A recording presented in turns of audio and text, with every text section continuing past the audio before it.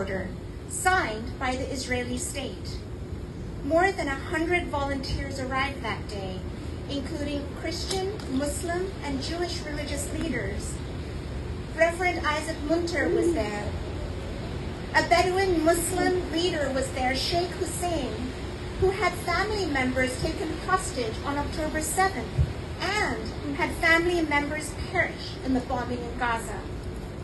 Knesset member Ofer Kasif was there, and the previous time he had been at Al Makhrour, the soldiers had injured him and he still came back.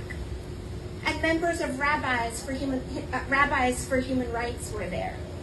We sang protest songs and we marched to the edge of the Kisiya's land where stood IDF soldiers and tanks. We sat down on the ground, blocking the soldiers' entry, and sang and chanted for over an hour, when finally the soldiers threatened to bring out their stun guns and tear gas. The Kisiya family said enough is enough and asked us to march back peacefully to the Solidarity tent.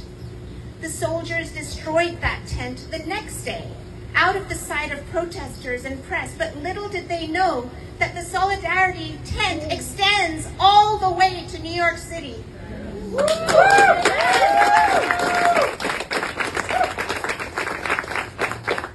During our trip, Israel escalated its invasion into the northern West Bank. American peace activist Aysenur Eygi was shot dead as our delegation made our way back home. Israel is now bombing Gaza, Lebanon, Yemen, and Syria. But the Kisiya family continues to expand their fight for a free Palestine across the globe. They grieve, but their grief is their power. To not grieve is to lose one's humanity. When I met Alice, she told me this, and she asked us. She said that she was her family is using social media to make the fight global. And I'm just so happy that what was words just a few weeks ago is real. It's, it's in fruition.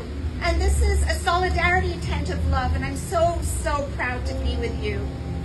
I end now with a prayer from my Hindu tradition.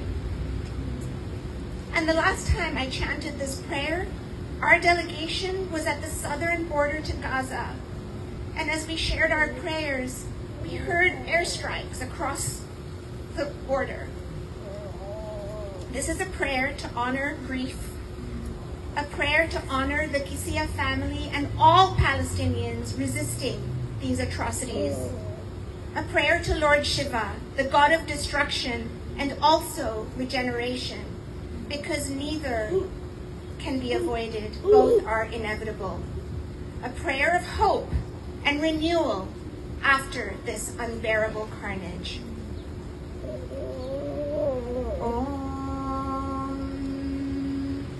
Trayambakam Yajamahe Sugandhim Pushtivardhanam Urvarukamiva Bandanat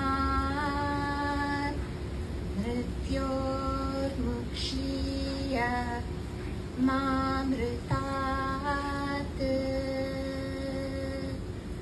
Om Shanti Shanti Shanti.